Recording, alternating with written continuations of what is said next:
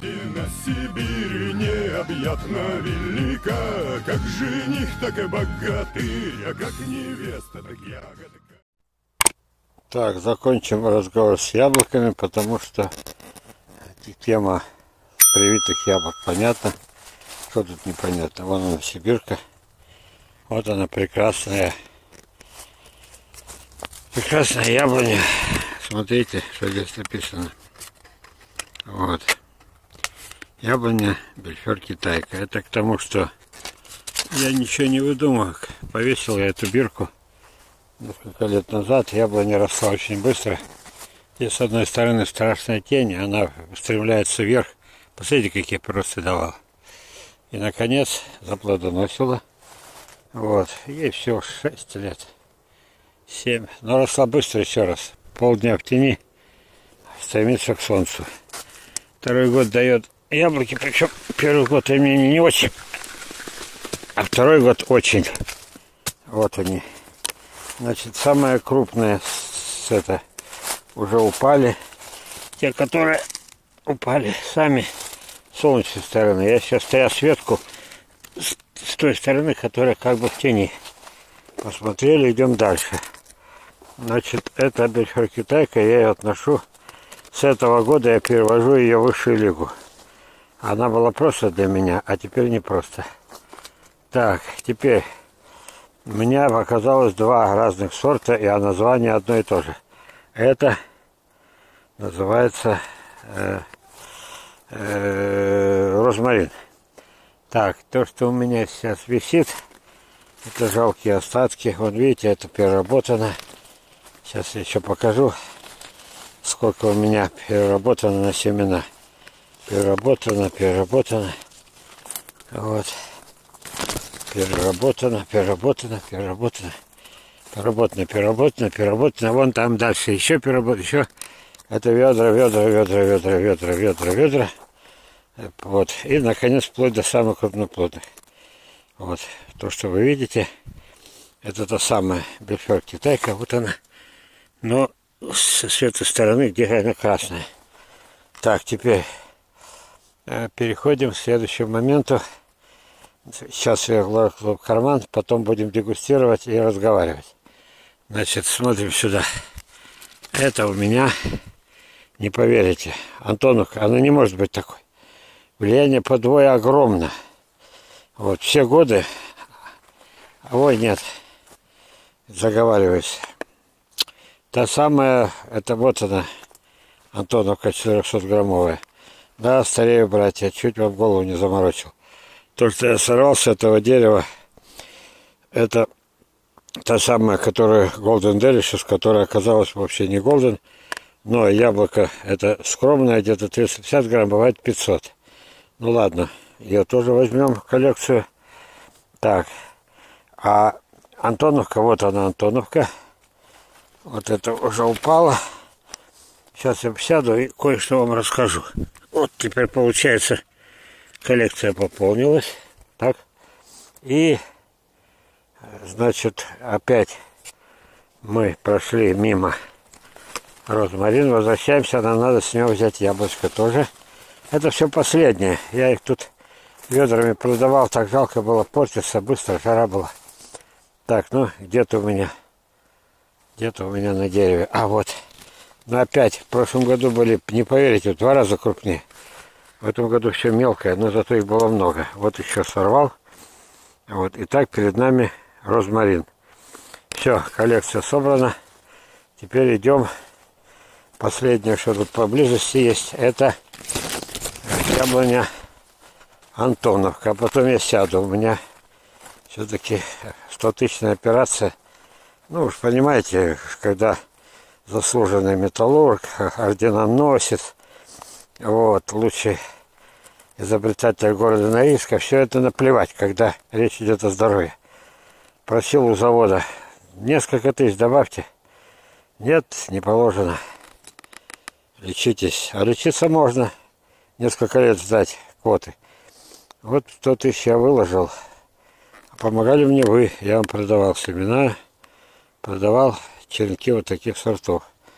100 тысяч набрал, и мне операцию сделали, но все-таки моложе я не стал. Но ноги сохранил. Итак, Антоновка, которая обыкновенная. В этом году она никогда такой мелкой не была, несколько лет плодоносит. С нее мой помощник собрал ведро, говорил, буду варенье варить. Много придется бухать туда, в это варенье, сахару. Замечательная вещь, все-таки это пока кислое зимнее яблоко. Итак, пошли садимся и поговорим именно про Антоновку. Вот, сейчас присядем. А, ее надо было тоже взять для примера. Хотя хвататься особо нечего. Вот. А, о, вот она. Я хотел здесь сесть на солнцепеке. Ну, как-то на фоне супер туалета уличного типа сортира как-то у меня разговор не получится. Сяду я в беседку. Так, набрал я яблок. Так. А как же, надо же удивлять. А, то... а вот из упавшихся вот чуть ли нет. Вот покрупнее. Из упавших. Ну, это у меня болтается. Вот они. Все, пошли. Ну, помогать некому. Знаете, как меня умиляет? За все годы, что я занимаюсь садоводством, а значит и видеофильмами, я все должен рассказывать, чтобы у всех такое было. Вот, всех 20 разных год, спокойно так. Да наймите его оператора. Вот, а я говорю, а ты мне пришли деньги на оператора? Вот, советы-то бесплатные, они недорого стоят. Как говорила актриса Муравьева, не помните? Я на всю жизнь эту фразу запомнил. Не учите меня жить, лучше помогите материально. Так вот, вот это вот должно быть в каждом саду. Так, но здесь они не смотрятся, здесь клеенка. Она такая пестрая, на фоне не видно. Ну давайте здесь. Здесь. Так, здесь. Сейчас, сейчас, сейчас. Оператора наймите. А, а так он мне что, бесплатно будет работать? В наше время бесплатно. Ага, сейчас. Вот, смотрим вот так, вот так и вот так. Вот, нет, не все. Вот, пришлось еще в карманы прятать. Вот она, бельфер. Вот они, бельфер. Так, поехали. Итак, это моя элита. Ну, может быть, кроме Антоновки обыкновенной. Еще раз, бельфер китайка. Тоже бельфер, но она досталась уже, в отличие от посылочной, бельфер, этой самой. Ой, нет. Чернобаевская, это он мне два саженца подарил. Которые мы вон там видели, да? Вот. Которые я встряс. Ну, последние уже мелкие с тени. А вот это вот Царство Небесное, покойный Федоренко, мой друг. Взял и умер. Он так обидно. Такой садовод был великолепный. Это от него веточку раздобыл Сергей Железов, уже становясь помаленечку селекционером. Так. Ну, а дальше что? А дальше Golden Delicious, которая, правда, должна быть еще раза крупнее. Но этот год вообще такой мелкий. Вот. Далее Росмарин. Получается, надо их рядом поставить. Вот. Розмарины, но разные розмарины. Итак, ликер Китайка, Голден. Два розмарина с разных источников. И теперь догадайся, ну-ка, они все-таки родственники или нет. А -а. Нет, это разные сорта. Кого-то неправильный розмарин. Или у Федоренко Царство Небесное, или этот самый розмарин из посылки. Дальше классическая, классическая Антоновка и Антоновка обыкновенная. Говорить буду сейчас про Антоновку обыкновенную. Сейчас сяду, все-таки ноги намучил. За день четвертый фильм снимаю. Так, у меня там написано в титрах. Можете оказать материальную помощь, потому что мне эти фильмы тоже недаром знаете, сколько я потратил денег? До какой-то момент полмиллиона на их монтаж. А потом, когда присоединился ко мне мой брат, уже получилось меньше, намного дешевле. Я его так чуть-чуть скидываю от стыда. Он целыми днями занимается монтажом. От стыда скидываю ему немного денег, и пока все. Но, тем не менее, я надеюсь, фильмы приносят пользу. Во-первых, потому что это Сибирь. Пусть южная, но Сибирь. Пусть Сибирь, но южная. И тогда разговор пойдет вот о чем. Меня требуют э, косточки, семечки именно э, Антоновки просто Антоновки. О том, что она бывает обыкновенная. Она бывает и 400-граммовая. Вот, мало того, что 400 граммов, это, это, тут и 200 нет. Ну, понимаете, сезон заканчивается, когда любимое занятие, я этим распространяю слухи. Приезжает машина, 4-5 пассажира. А, Сергею приезжает, как сегодня было. Я сегодня тоже фильм снял. К Сергею приезжает, ну, в данном случае это, это самое, а, не получилось, а обычно это 4-5 человек, все члены э, пассажиры расходятся по саду и все пробуют, пробуют, и я делаю широкий жест. И в тот момент, когда начал снимать фильм, самое крупное уже вот такие антоновки, хотя были действительно 400-граммовые. Итак, что из них семечек будет? Вот. Классический ответ самого Мичурина. Антоновка, наверное, где-то вот такая, средненькая, и, кстати, 20 сортов, и они уже, они уже начали различаться, вплоть до того, что у них окраска начинает появляться. Итак, Антоновка – Итак, взял семечки и у него вырастил, выросли дички. Даже не вот такие, а дички. Тогда он посмотрел на эту Антоновку критическим взглядом, на это дерево, оно привито было на дичок, и сказал, так вот где собака зарыта. Дичок испортил Антоновку. Он, значит, был, этот дичок был повлиял на привой, на привитую ветку, и получилось, ну вот, даже не так. А получились еще меньше, наверное, в два-три раза. И мне застряло это в голове, как говорится, почитываем, э, как этот смеялся, говорит, вы стихи пишешь? А он отвечает, да, пописываем, пописываем. Так и тут. Почитывал я Мичурина, и теперь у него в голове застряло. И мне говорят, эти-то у меня уже гости-то рас, расхватали, я не могу с них взять семена, их практически нет. А вот эти видели, валяются, валяются. Вот. И взять с них семена, а что с них вырастет? И тогда я еще рассказываю одну историю. Я перегоняю машину, мне наличанину, одному из, как говорится, лучших, дают талон на шестерку, на, на Вазовскую. Тольятти. Это было круто. А в то время это было только лучшим бамонцам давали и наречанам, больше никому. Ну, не считая этих блатных.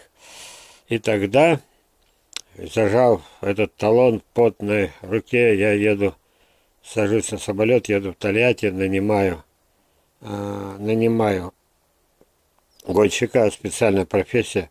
Обычно кто покупал, тот не мог даже машину догнать. Перед Норильском разбил машину один мой приятель. Тоже, только гнал не на юг, как я, не на Украину, а на Норильск. И умудрился ее разбить. Так вот, новичок. А здесь профессиональный, и гнал он гнал, и мы гоним через э, примерно, примерно, ну, ну вот, что могло на Украину попасться после Тольятти? То ли Калужская область, что-то в этом роде. А родина, не родина, а центром антоновского производства антоновок, как именно сорта, как именно а, выделившегося как суперсорт, то есть необыкновенным запахом. Это считалось первым достоинством.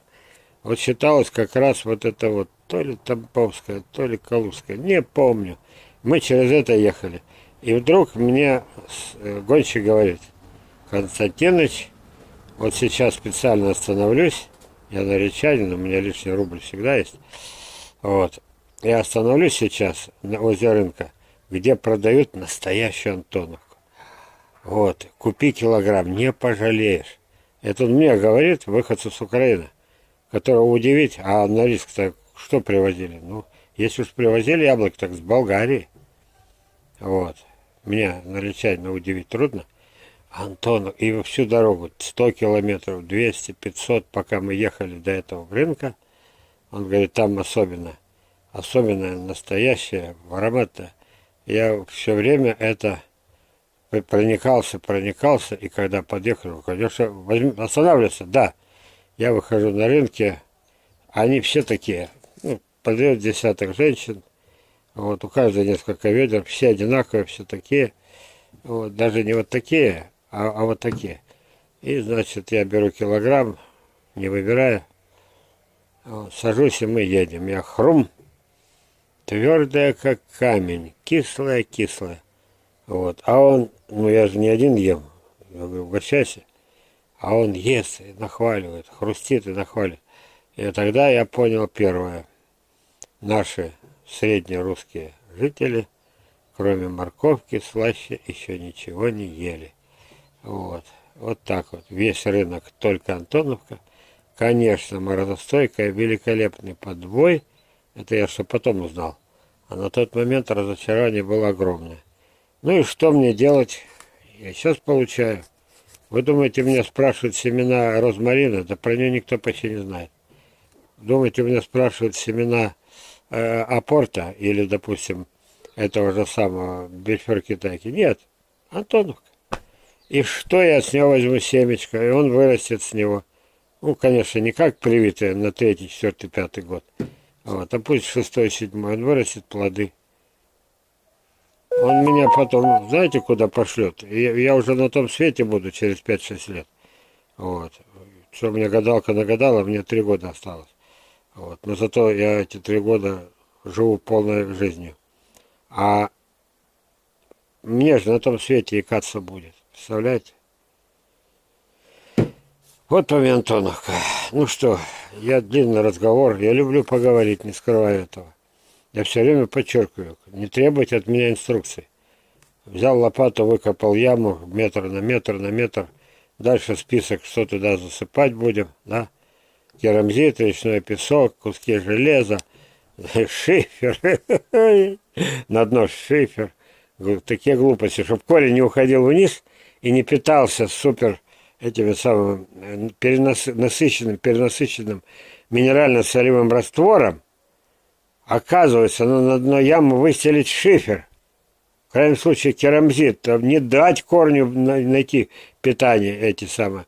Э, просто напиться раз. И еще и напиться помощью незамерзающего антифриза. Я его сам назвал антифризом. Вот это и есть наша действительность. Поэтому вы от меня узнаете по ходу хихи, с хихонькими хахоньками, вы уже поняли. Никаких дно ямы не устилать ничем – никаких дренажей, никаких... Кстати, дренаж понятие, чтобы просачивалось. Нет, ведь надо обязательно эти шифером, чтобы не... Дай бог, корень туда не прошел. И это дренажом называют. Слышали звон? Ни черта не разбирается. У нас таких тысячи, тысячи. И люди корячатся, метровые ямы копают. Вот. Потом откуда-то что-то привозят. Набивают перегноем, набивают минеральными удобрениями. Не дай Боже. Вот, и такой получается э, это самое. Вот. Запомним раз и всегда, напоследок это касается и Антоновок, и розмаринов, и все, что угодно, и абрикос, и слип, и яблонь, и груш, всего касается. Вот. Берете небольшую яму, делаете под корни, и берете землю от чистую, я ее называю стерильную, сняли дерн, еще сняли несколько сантиметров, и дальше берите землю, которая закончились гнилостные процессы примерно тысячу лет назад, пять тысяч лет назад, вот.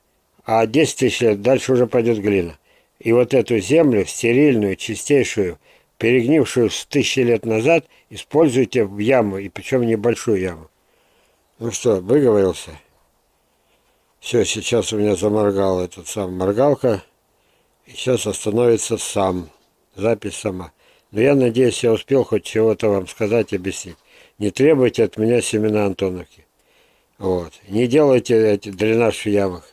Не, не отрезайте центральный корень. Еще много дури вам научат. До свидания, друзья. Это 5500 или 600 какой-то фильм, я не шучу. Вот. Добавить мне 50 или 100 рублей, чтобы этот фильм смонтировали мне – что потому что плачу я, я, я, я, я. Пожалуйста. Вот. А нет, то ничего, переживу. До свидания. Ай, где моя коллекция? Вот. Еще один-два человека приедет. Еще сегодня приезжал, угощал в Черногорке. Вот. Все, друзья, благодарю за внимание. Вот. Благодарю за внимание. Кино кончилось, кино пока не будет.